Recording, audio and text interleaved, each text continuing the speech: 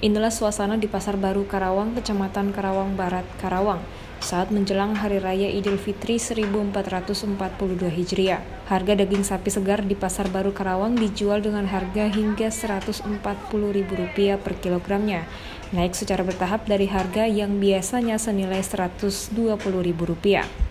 Salah seorang pembeli mengaku biasanya membeli dengan harga Rp120.000, kini harus mengocek lebih besar hingga Rp140.000 per kilogramnya.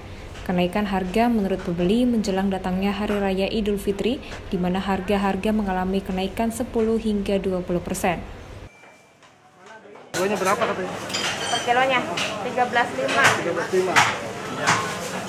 Naik apa enggak? Naik. Naik. Biasanya 12. Biasanya 12. Iya.